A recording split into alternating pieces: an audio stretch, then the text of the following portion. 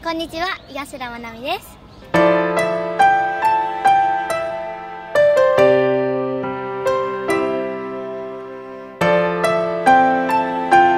私は小さい頃からずっと女優さんっていう夢になりたくてあの映画「おしん」に出させていただいてすごいそれが印象に残ってますあと X21 のグループ活動で、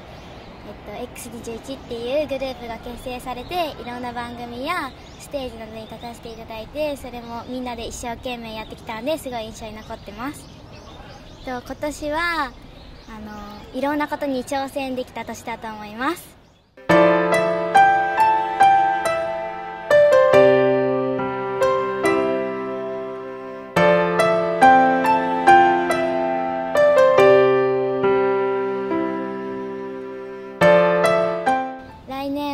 いろんなドラマや映画とかにも出てでいろんな役でもどんな役でも演じられる女優さんになりたいです。